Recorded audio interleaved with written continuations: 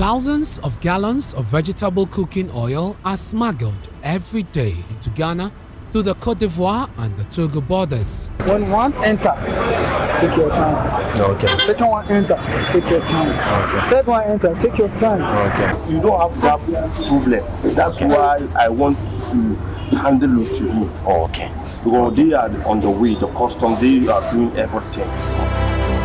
The state is losing millions of cedis in revenue due to the non-declaration and evasion of taxes by these importers and traders. But I have mine is a few. Go and go guys in a banana. Okay. Go up there, no, be go to the Nana Kakara. Okay. There, the attaches, and I. Oh, okay.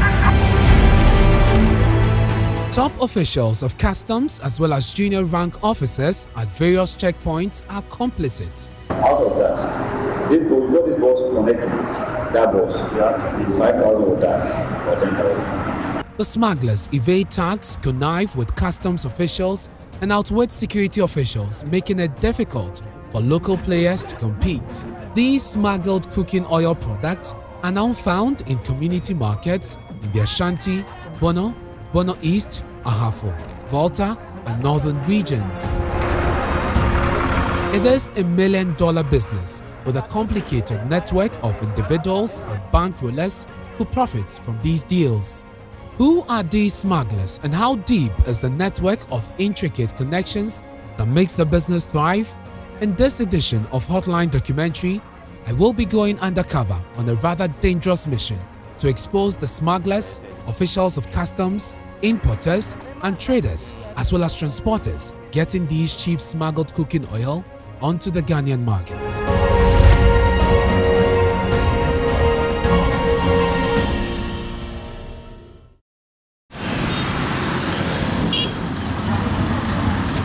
It's a busy market day in Tamale.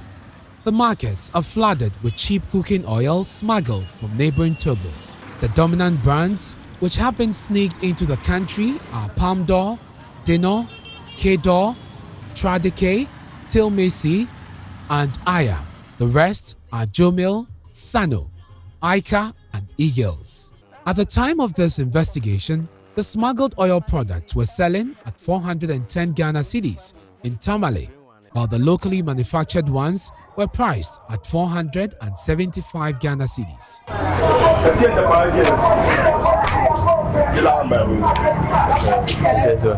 You have cities. These cooking oils are moved into warehouses in the thick of the night by a smuggling cartel in Tamale. One of the kingpins is Mohammed Hamza. He hails from Bawku. He operates under the company name Command Daf Enterprise. He controls a large share of the market in Tamale.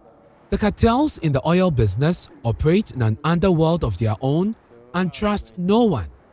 I needed a cover story that will enable me penetrate these kingpins running a multi-billion cedi smuggling chain. I told Hamza I desperately needed thousands of gallons of smuggled oil to break even in the local market in Kumasi. Commander, I agree to you. I hope you are doing well. I'm doing well, and then I'm also doing fine. this is our business. we are better. Uh, I know, I As know. He agrees to sell a gallon of oil at 430 Ghana cedis. He deals with individuals who are buying more than 2,000 gallons of smuggled cooking oil. This will bring the figure of our transaction to over 800,000 Ghana cedis. For my consignment of 2,000 gallons of oil to Kumasi, he would pay at least 15,000 Ghana cedis in bribe to customs and police officers on the route. the one that is going to arrest the police, I will inform you. I'm coming. How much are you going to take? Take. I they will sell pay now, you. take I can't Okay. So that So one, my goods, they don't even charge. even Chairman go, they pass through Yendi, no. That's all, all the time my oil is neat. I pass through the road. I don't hide anything. End of the day, How much will the customer? So that's 33,000. Out of the 33,000, Mm, I will do, I'll make duty payment. okay. I have 15,000 to cover some number of quantity. In case of police stop the car, they should be able to provide the paper. Okay. He walks me through how he's able to smuggle oil from Sankase in Togo to Tamale. Because we don't have to carry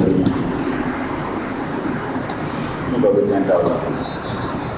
Say it's about a thousand five. And then food and transport military thousand five, thirteen thousand. If you go in seventy thousand, seven thousand. But twenty twenty thousand now. Say because you would really want you would really not have five million. The fuel thousand five. The other. Kuuza kafuta boda 2005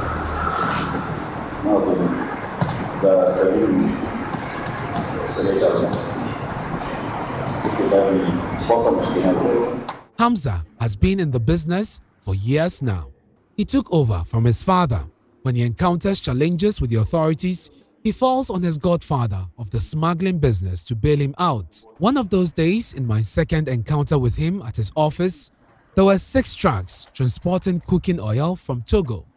He tells me custom officials are demanding 30,000 Ghana cedis bribe on each truck.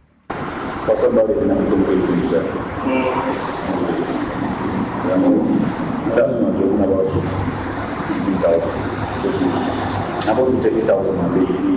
oh.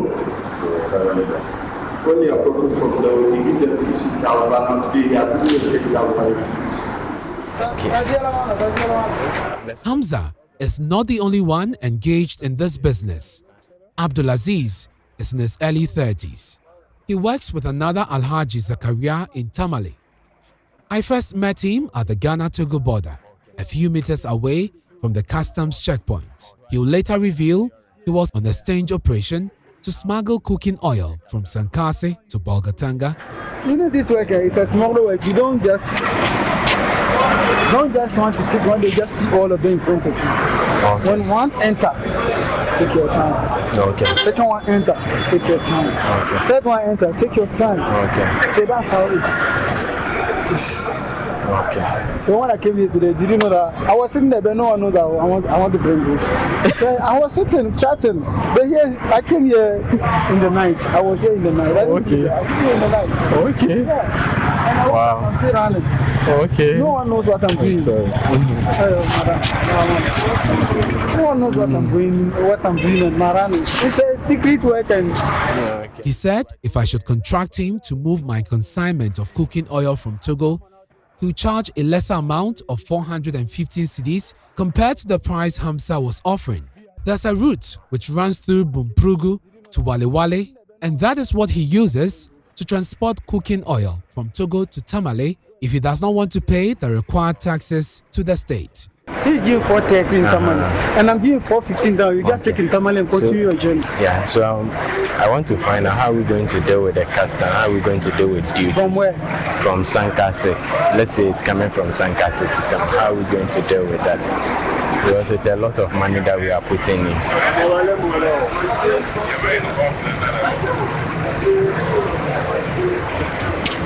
They are not passing through here. Okay. You use where? There's a road passing to cross Walewale. There's a road passing. Mm. But how about duty? How do you? The duty is the cargo is handled. You don't have problem. You don't have duty problem. Aziz does not work alone to cheat the system. He says there are custom officials he bribes to assist him evade tax on the cooking oil he smuggles from Togo. You know the road. Some people are there. The road they are passing. Like when I get to custom office, they Yeah. see me doing this. They know the business already. Okay. We know the deal that we are doing already. It's not like I'm. But you are the best You come and ask how much am I paying this. You know that this is a stranger. Yeah. He has gotten yeah. you to. Yeah. So, but me, as if I just got there, he knows the deal already, and I know how much he's supposed to take. Oh, okay. That's okay. it. Okay. So you don't have any fear. If it is from Ghana, you don't have problem. He said another way to outsmart the customs is to stock 40 footer containers with the smuggled oil, or better still, rely on VIP buses to get your oil to any part of the country. Like V, VIP buses. Yeah. That one you are safe. Okay. VIP bus you are safe. Okay. But eh, this thing goes. Oh, God, oh, God, oh, God. VIP. The oil is brought in by collectors. Sadiki Mustafa is one of such collectors. He's responsible for transporting the millions of gallons of smuggled oil from Togo to many parts of the country. He shows me a receipt bearing the sum of 300,000 Ghana cedis for payment of oil he recently smuggled from neighboring Togo. They have an established network in Tamale. They deal in oil and sugar. Sadiki said he will sell a gallon of oil at 400 cedis to me. Even among the smugglers, there's competition to control the turf. Like Tamale, the border town of Sampa in the Bono region has another network of smugglers. They are mainly middle-aged women. Do not be mistaken, they call the shots in how oil and which quantity must be smuggled from neighboring Cote d'Ivoire to Sunyani and the Kumasi markets. One of them is Mame Selwa. She is easily identified at Sampa as Alhaji's wife. As at the time of this investigation, she was willing to sell the smuggled oil to the investigative team at 370 cedis when Hamza's price was hovering around 430 Ghana cedis. She said the cooking oil has become scarce, so like many smugglers and traders, they have to leave huge amounts with dealers in Cote d'Ivoire.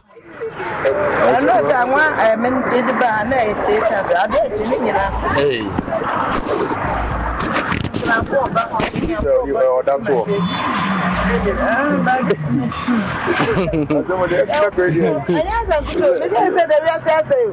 Ebi se ko duwa fo, na o mu be fa awon awo ye ya ade ko. Ana na ye na ye fo mo de. Oh. Ma ti e da wa ni ase ko duwa. Hey. Ana ni baba ko mi ti ayi. Ka seven. Oni mi o de ma me tre. An ma se di ti ase mo ka ti. Ma ma.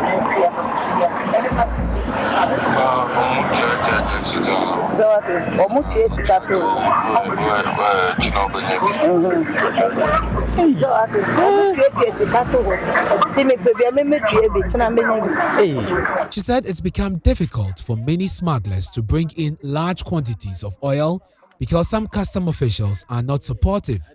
She revealed that top custom officials at Sampa and other checkpoints have told her the government is pressuring them to crack down on the operations of smugglers because it is affecting local business companies which produce cooking oil. Nanu sɛ kɔ sɔmpani baako sɛ aban de lɛta aba Okay. sɛ fa ha dodo no filatɔfoɔ no de ayi aba na sɛ ɔnyɛ ɔde kora na nti ama pipa na ɔmo yɛ no ha no ɛwɔ fam nti ama yɛtwɛn wɔn ba ha nti ama adeɛ na four seven ne four eight yɛ but she works with some custom officials who support a smuggling business.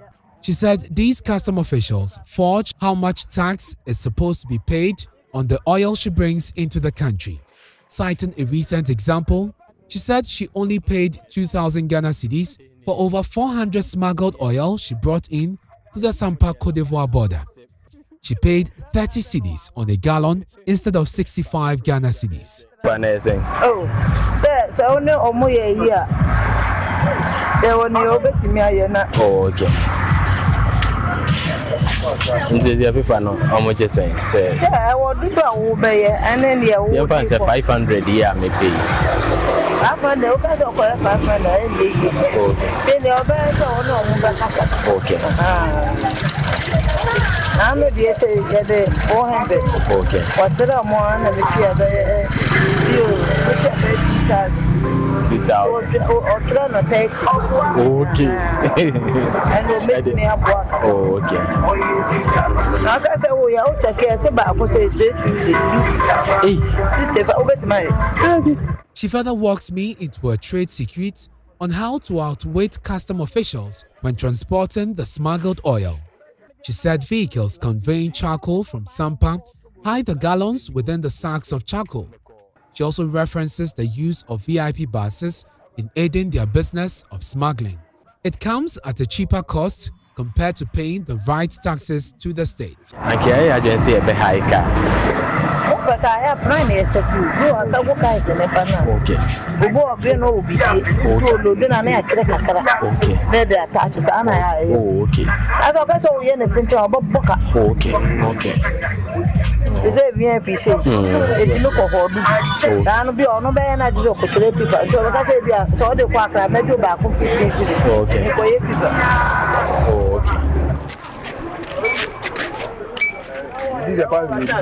Drivers who ply sampa to trading communities in Ivory Coast play a significant role in this business of smuggling oil brands such as Dinor to the Ghanaian market. One of such drivers is Ibi. He charges at least 10 Ghana cedis on each gallon he brings to Sampa. nti wo de ba a, one gallon ɔbɛ charge sɛ About uh, 10 cedi. ten cedi You can't find any gallon. Huh? When you find it, 80. Before 80. Na wekyɛ yi wobɛyɛ dɛn de border no a yɛnya customs issue I know. Eh, wode Aba. free code fo aba Any problem? Say the beer more. I'm going to because ɛwɔ sɛ woma me assurance no me boss no And yes, sir. Wow. Over the line, yes, can you be Jim? Make us come and farm. I approached this driver at the VIP bar station at Sampa. He revealed he is complicit in the transportation of these oils when I expressed my interest in getting the oil I bought to Sunyani. He said he will charge 15 Ghana cedis on each gallon because of the bribes he has to pay to custom officials and the police when transporting the goods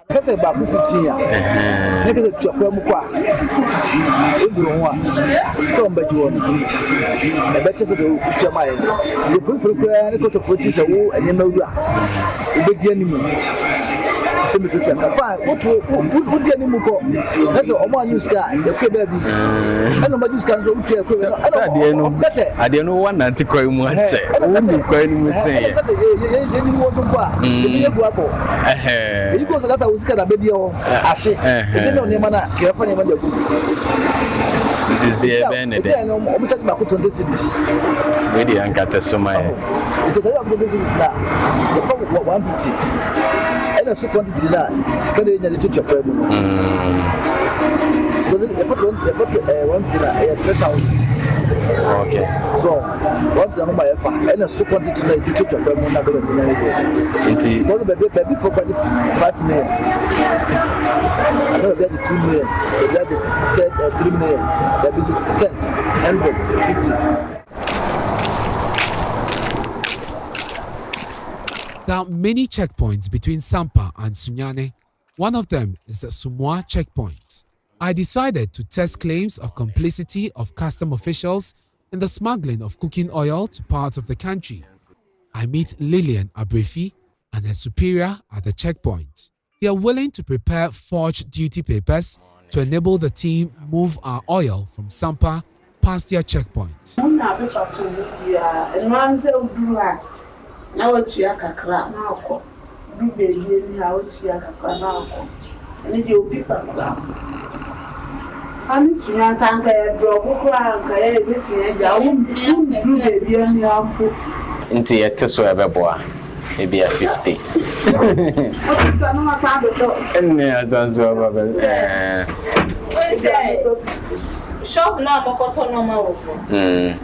atams a ɔmokɔfa nɔɔma na ɔkɔ divo aba a te sɛ deɛ nka mo sɛ mobɛtɔ bi hundred two hundred te sɛ sunya baabi no ɔmobɔ office ɛma yɛyɛ duty ma ɔmo nti na yɛyɛ ma ɔmo a ɔmo yɛyɛ photocopies de ma ɔmo a ɔmo bɔ bi wɔ shop wɔ no nti sɛ more than te sɛ hundred no nkɔ no shop wura no obi ewura ɔno ne photocopy photocopy ne. na ɔde akɔba ne di ama ne mu ɛte sɛ koke wodi koke kɔ agbɛti.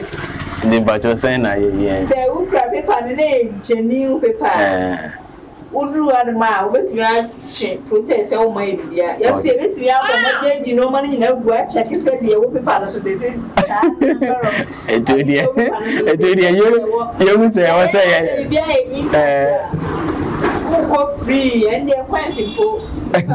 baya yɛ ni sɛ yɛ gye yɛs yɛ ni sɛ yɛ gye obi pepa sɛ deɛ mo akyerɛ yɛ eti sɛn na eti sɛn na nam yɛn because sisi a de akɔ akɔ akɔ ese n deɛ ɛbɛ affect deɛ mɛtɔ no. mo n fa expenses anka ho. nukura nyamie ni. They suggested strategies the team could use to outsmart other checkpoints to get my smuggled oil to the final destination. One of the many ways is to use the duty papers of one of the big shots in the smuggling business in Sampa. Lillian calls Mrs. Naomi, as she is referred by dealers and importers in this business. vip bus ah, no yɛde hyɛ vip bus no ma ɛbɛma ànkà ní. because vip deɛ no yɛkɔɔ no ɔmo se ɔmo nso ayɛ ma ɔmo nso se ɔmo nso se ayɛ ma nti ɔmo na ɔmo suggest sɛ yɛn bɛ use trɔtrɔfoɔ no. Trɔtrɔfoɔ no na ɔmo se yɛn bɛ hu mu no. Ahaa. because vip deɛ na akwan sɛ fifteen cedis baako. Baako. ɔmo a ɔmo bɛyɛ ahaa ọmọ abẹ́tù expenses. ahaa na esi ɔmo nso ɔmo se ayɛ ma no nti agye nso trɔtrɔ mo pẹ̀ ní ndẹ́ a. ahaa trɔtrɔfoɔ no deɛ ɔmo nim kasa. Nti ɔnim kasa asa asɛm ano n'ano sɛ maame bi nneɛma. Ɔyɛ a ɔno deɛ na yɛ one hundred and eighty gallons. Driver ni na na ɔnim kasa nti ɔmo kye maame ne nneɛma ba office. Kaa maame ne bɔɔyɛ ɛnpa nneɛma no gu madam sɛ nya bɛyɛ one month? Ɛɛ nneɛma no gu ba one month. Tama na nkramofoɔ ɛɛ ɛgu ɔmo akyi yɛ more than one month just because of driver no kasa ha deɛ ɔmo gyaa do ba ɔmo beebi. It is time to test how deep this canker is. The investigative team bought 90 gallons of cooking oil smuggled from Cote d'Ivoire from Menuya Gladys's shop in the Sampa market. Ya Gladys's husband is a driver. He knows how to deal with the officers at the customs checkpoint along the way from Sampa to Sunyani. ɔno sɛ wokɔyɛ ne wei no a ɔmbɛyɛ duty no baako sixty cedis ɔhu sɛ ne bɔ yɛ dɛ ne bɔ yɛ akɔba no kere ne ɛwolo ne ɛbɔ nti ma yɛmfa no bra ɛɛ da bia ɔne bibi kɔ oh okay The next morning, the gallons of cooking oil had arrived at the Sunyani market. Ya Gladys and her team had successfully transported the smuggled oil from Sampa. The driver admits, however, that it was not easy because he had to pay bribes to customs and police officers. N'abotire bɔga n'abotire n'abotire n'abotire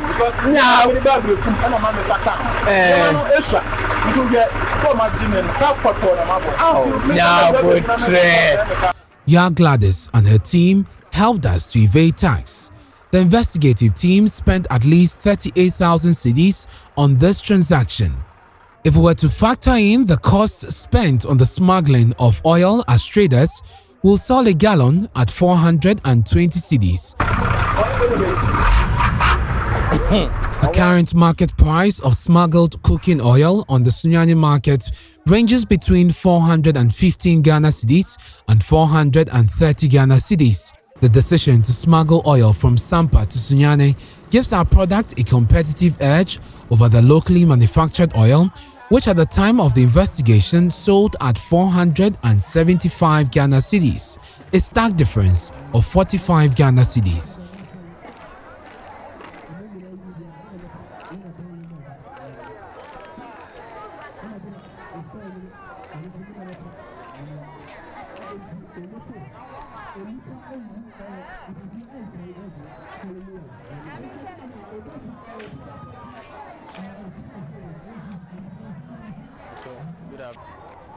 Many of the retailers of smuggled oil get their oil through this means.